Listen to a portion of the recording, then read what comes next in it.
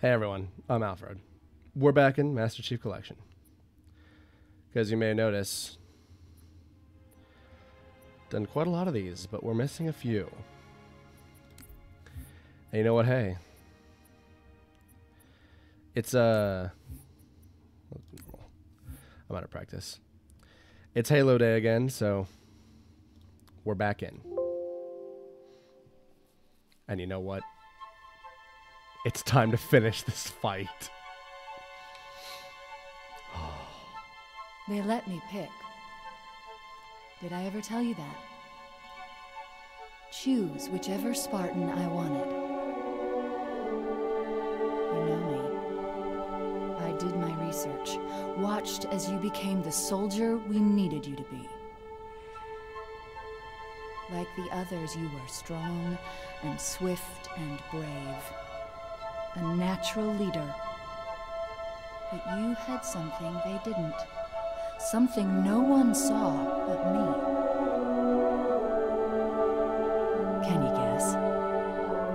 Eight foot dick. Luck. No.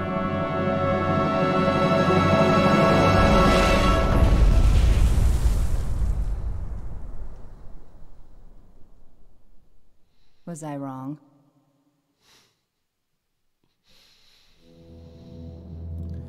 First Halo game I've ever played, and it's the first time I'm playing it in years.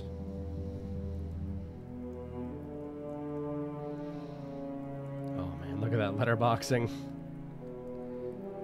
Ah. This ain't good. Damn. How far did he fall? Two kilometers, easy. Stay sharp.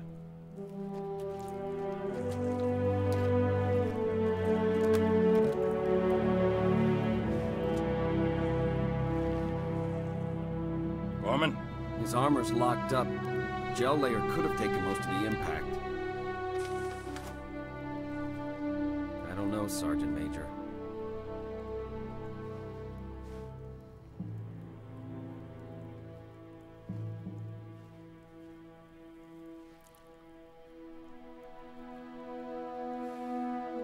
Right in my face, dog.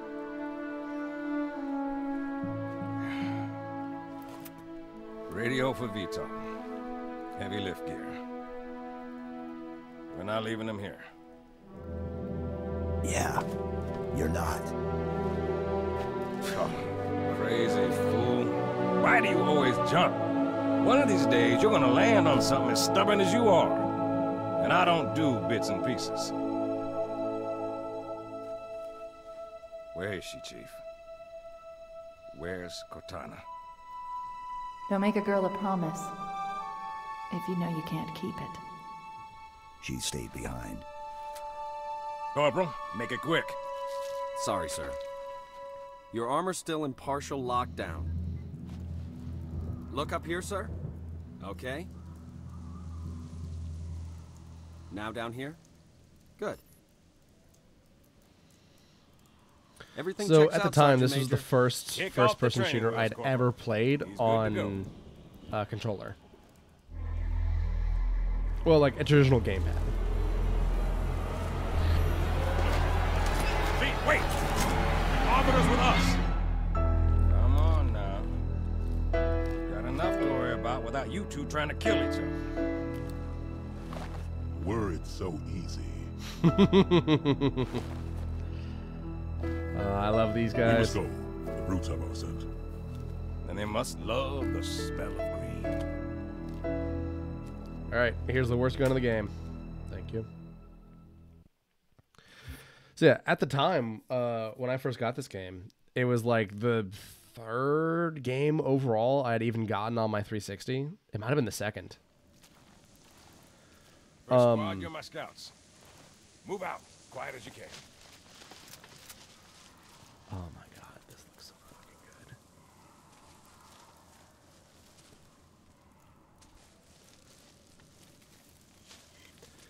But yeah, this was the first game that I'd ever played on a gamepad as opposed to like keyboard and mouse or Let's like get a moving, Nintendo Wiimote. Come on, I'll lead you out. I'm well aware that it's called a Wii remote, but you know what? It's a Wiimote. Be frank with ourselves here. Up and over, Chief. I remember being able to see my own knees and losing my mind. I was like, whoa, Bravo team, it's like I'm really Got it. there. Fall back to the extraction point. Like I was like, oh man, games can't possibly get better than this. You know, in, in the first two minutes of Halo, just being able to look down and see my own knees and feet on like 480p on a 360 with a CRT TV. I was like, wow, it's the best looking game I've ever seen. And at the time, it was. That was true fact. Johnson, you be advised. Hostiles are on the move. I've got eyes on a brute. Over. Say again, Gunny, you're breaking up. And like this is a honestly a bad place to start because like I had no idea who Cortana was. I had no idea that the Arbiter wasn't wasn't ordinarily with us. Like I had no idea what they meant by Cortana had stayed behind, who Cortana was, what behind was, what that meant. Like this was the first Halo game I'd ever played, and like at the very least, three starts with a or uh, ODST, I should say, three ODST starts with that opening crawl of like, hey, humanity's in a war and they're losing, yada yada, etc. etc.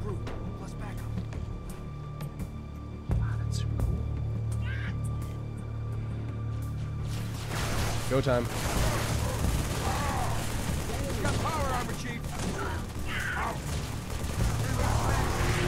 Oh yeah, so this game introduces the uh, equipment, which at the time I had like no idea. The prophets are liars, but you are fools to do their bidding. I kind of like the. Sorry, I'm just trying to figure out my buttons here. I kind of like the system of um system. Work with me, brain here. The system of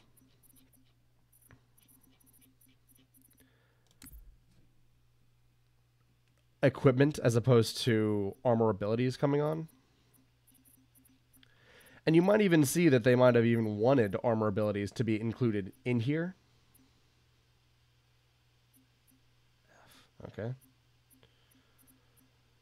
One and two.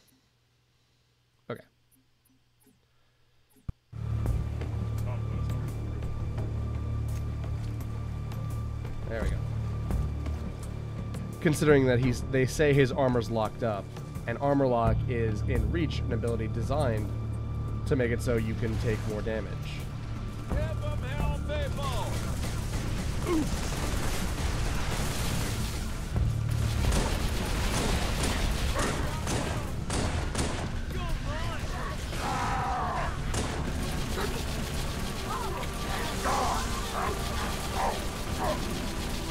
Obviously we've got the uh Let's do this, huh? Look out! There's more! We've got the dual wielding back from two. Because it was very important that that be brought in.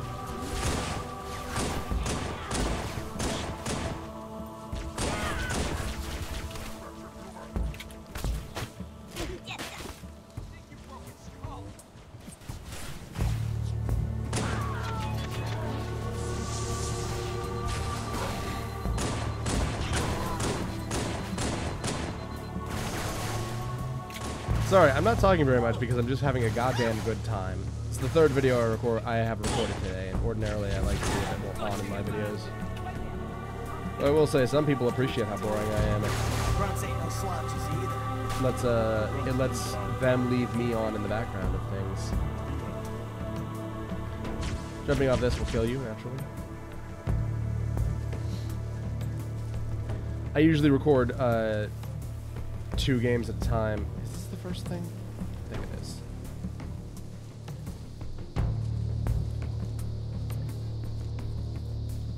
Here? I remember being jawed at by a purple space ghost at around here-ish. I don't know. Maybe I'm misremembering. But I remember that was very confusing for me as a kid. Eventually, I picked it up and I was like, okay, it's a space war. Sleepers.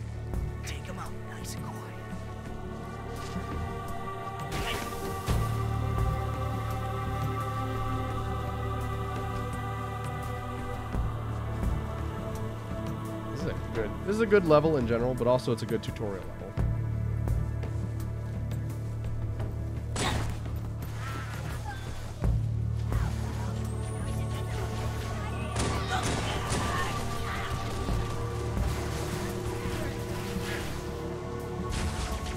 She's gonna kill us all!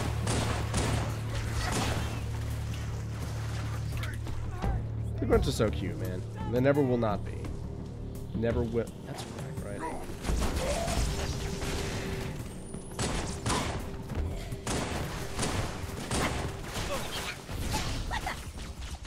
I don't know why I'm trying to be fancy.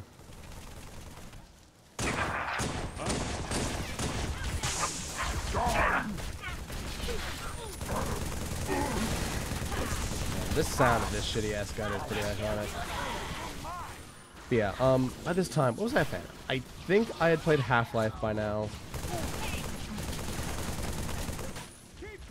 I'm pretty sure that I had, um...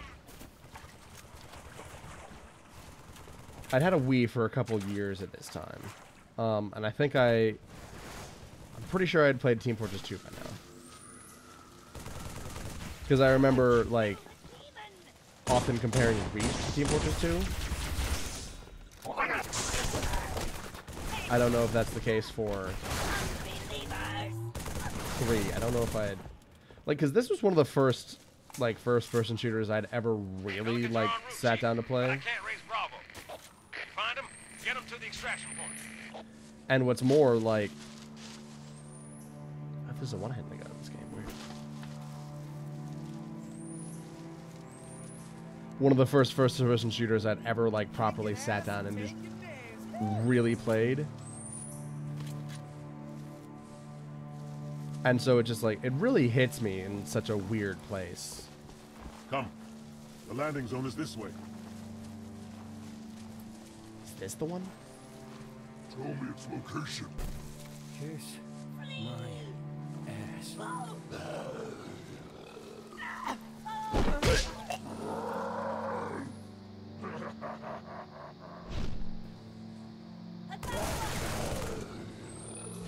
I like how they were like, wait, let's see where he's going with this.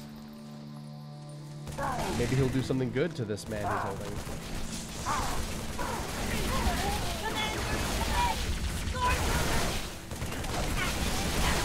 Have no idea where this is, to be perfectly honest. I remember a boat that I was on.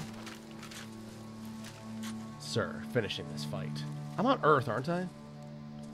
Where on Earth am I? I guess somewhere in Africa, right?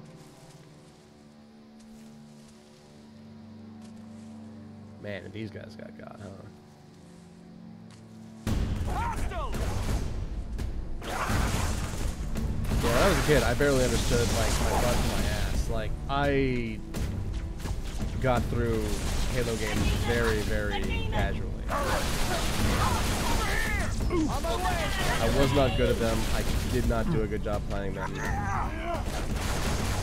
I was just generally a dummy. Like I primarily managed to get through it by uh, playing them through co-op with my sister, and then just hoping that both of us wouldn't die.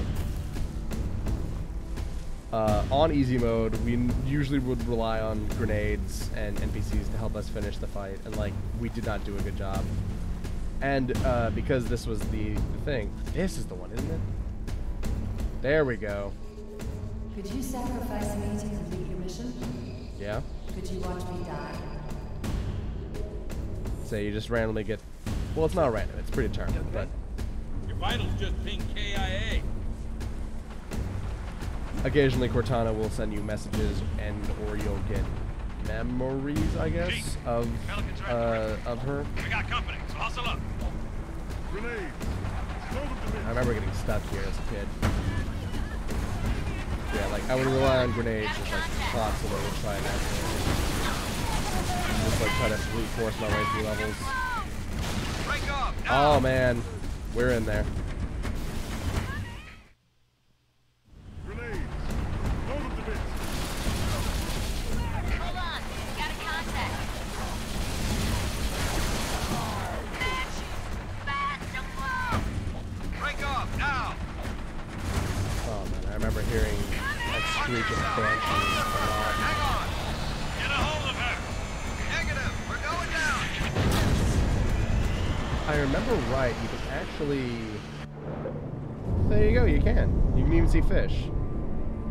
I don't know why Bungie felt the need to model fish and, like, really even model the bottom of this lake. Because it's not like it does anything. Yeah, when I first beat uh, Halo 3, it was it was a messy, ugly thing. Uh, just because it was the style at the time. My uh, copy of 3 came included with like two weeks of Xbox Live or something.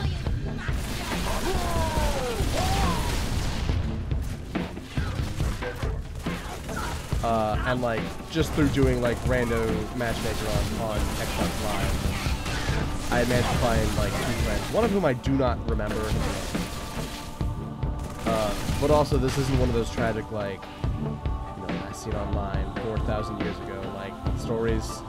Uh, I didn't like the guy. He was a friend by happenstance, the kind of friend that you make in school because you have the same class and like the kind of school that you make in friend because you happen to like share a classroom.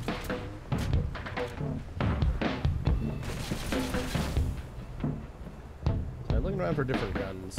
I just want to try new. There we go. Want to try new fun things. Yeah, you don't need to make those kinds of friends when you're not in class. So you know, after I lost contact with uh, I did not make any effort to re-engage it. Sue me, I guess.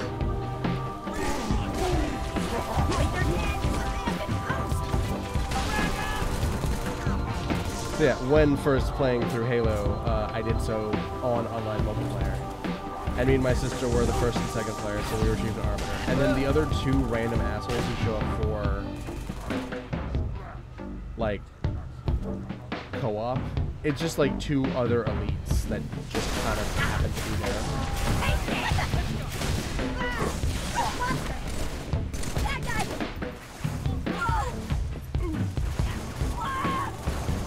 I remember in the last level you have to do a big old warthog ride. Warthog ride. Much in the same way that you have to do at the end of Halo 1. Uh, because, you know, Bungie does love to circle back around on the things that they've done before. They, in fact, adore the shit out of it. Stay in your position. Looks like they got carbines.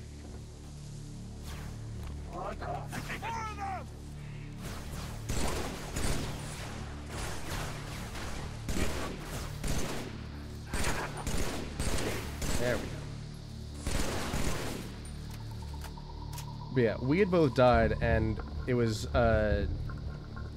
I remember just, like, feeling so embarrassed for my sister for some reason. She had, like... God, fucking memories. Like, last level of Halo 3, you have to do a, a big old Warthog ride, much like you do at the end of Halo 1. And I remember that, like, our Warthog got toppled, and my sister's, like, correct course of action was, of course, to jump out and just run it because you, you totally have a chance to make it, and then she was just dead for the entire rest of the level. And then I died more towards the end. But what this meant is that two randos in story and out of story were the ones driving the like the warthog. See, that was just too cocky. Two randos in story and out of story were the ones actually driving the warthog. So like two people who you never heard of before and are basically created just so the campaign has a third and fourth player were the only ones driving the warthog. And then like the game puts Chief in the in the boat at the end as though he actually made it.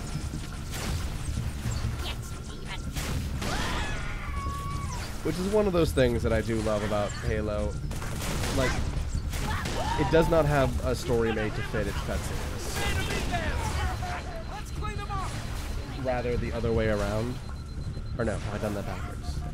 Anyway, like, no matter how much time you have left on any given timer, like, no matter what, if you get there, The cutscene always says that you are just at like 1% left. Damn. They killed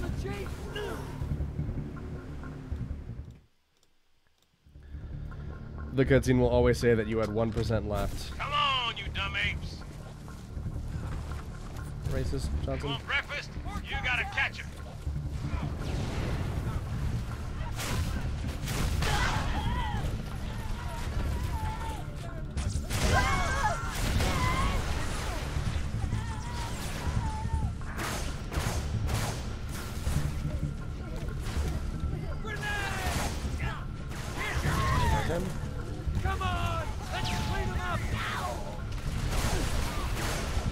I, I remember that like this being my start of Halo was like such a bad place to be to get into Halo, because the fight was being finished. How could you how could you possibly get in? The fight's being finished. And of course, you know, turned out I found some more fight in the back to finish later. But until then, all I had was Halo Wars, which is frequent. ODST, which takes place at the same time as 2 and does not feature cheats. And uh, Reach, which is also free. And granted, Reach is a fantastic shooter, and like really helped color my opinion of, of Halo. Mostly because it's good and in fact better than any other Halo game. I think it, it's the best Halo game where you play as a Spartan. Um, I think ODST is the best overall, but I digress. Echo 5-1,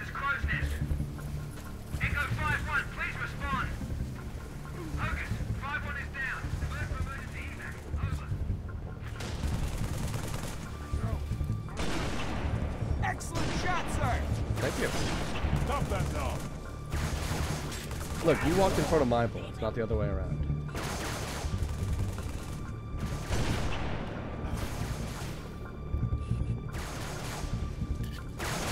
So yes, it's a long-standing tradition by now. Uh, Reach was the first real LP that I ever did on my channel. Sergeant Um, Major went this way, Chief. Through the cave. I unfortunately realized that that was the incorrect thing to do. Uh, because Halo Wars is actually the first, like, earliest game in the timeline.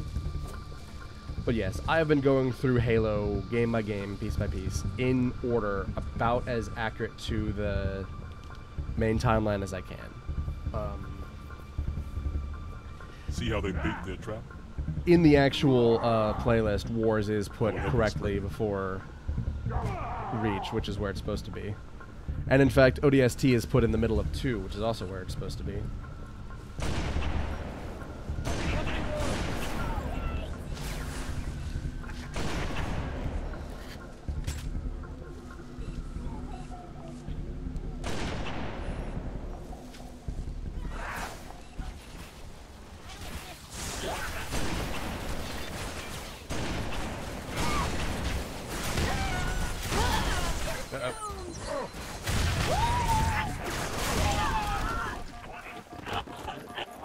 It's one of those things that really makes you appreciate regenerating health. A good corner to hole up in. By now I have given an immense amount of discussion to the uh, differences between non and regenerating health. Longtime viewers will know that overall I probably much prefer uh, regenerating health. Nope, not regenerating health because it'll always force the player to be more.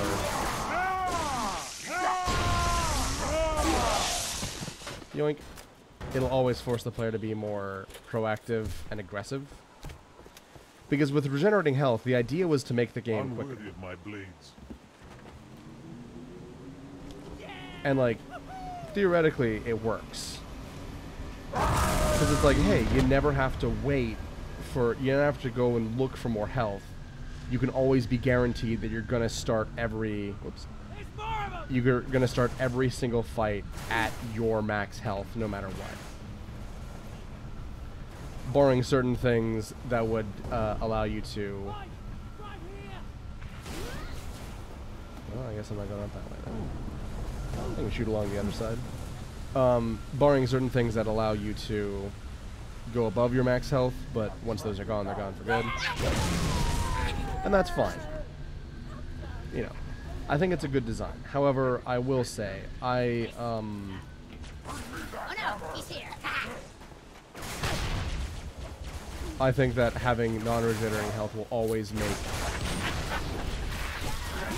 a game way more aggressive. Because no, you can't lay back. You cannot lay in the cut. You have to get in there and you have to go.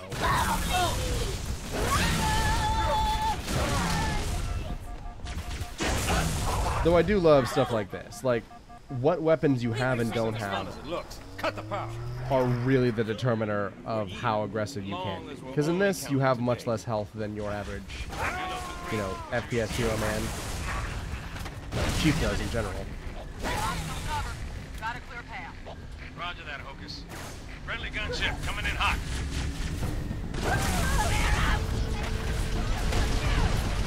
Stay alive. I don't know about that, Chief. Should work on cutting this. I have been trying to have shorter episodes. Um, no real reason, just a little easier on me.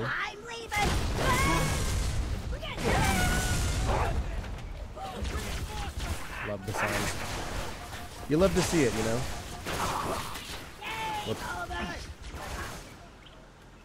I really want to go back to my dad's house and pick up all the, uh, like, Halo action figures that I have, like, lost, more or less.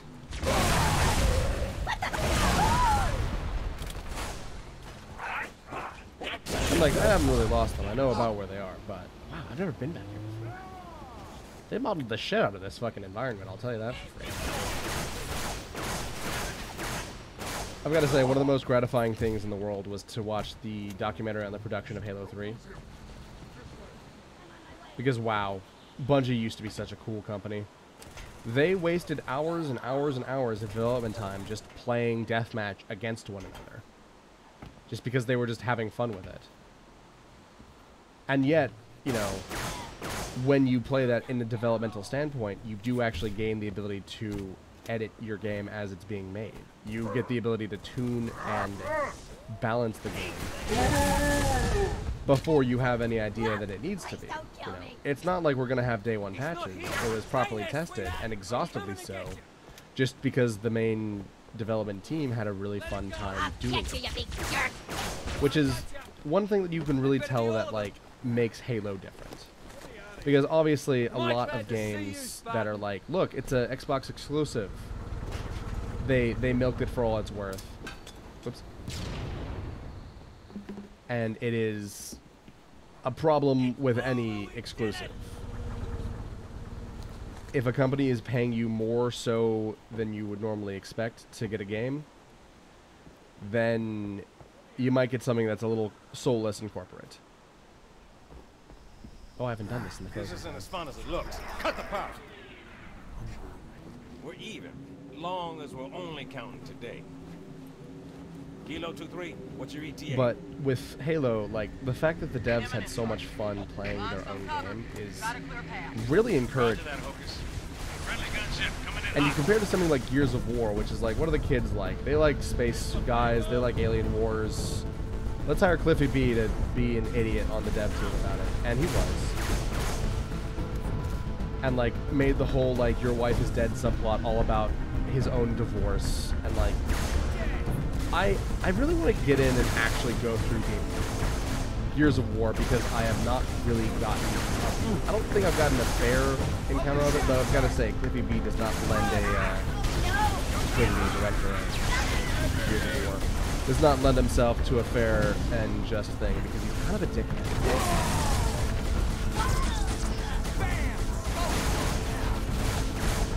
But like, you know, Gears of War doesn't have anything to do with Cliffy B being a dickhead. I, would say it actually does. Like, you can play Gears of War without Cliffy B getting his weird hand.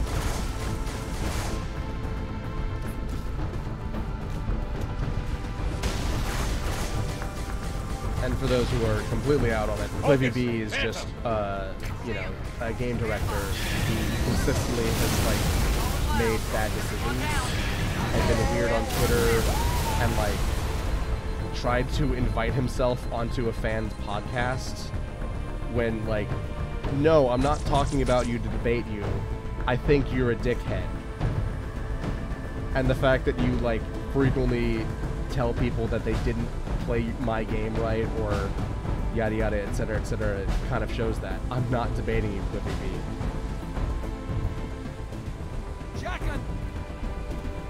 Long story short, um, this is probably a good place to cut the episode, though. So, uh, pardon the rambling, but this is what you get if you've never seen an, uh, a video of mine. But I've been Alfred, uh, and this has been the first episode of Halo 3. Uh, and man, I'm finally finishing the fight after the ending of Halo 2, which, by the way, I had never seen before, and that's my honest, fresh reaction to it. Wow. I am more ready than I have ever been in my life to finish this fight because considering how many times I finished this fight as a kid, I was just dicking around and, and shooting guys. I was just being a dumb kid in a in a war I didn't understand, just doing things just because. But like now, now I'm in on the lore. Now I'm fresh and ready. Let's fucking go. So yeah, uh, I've been Alfred. This has been Halo 3. Uh, thank you guys for coming. I'll see you guys next time. Everyone, have a nice day. Thank you.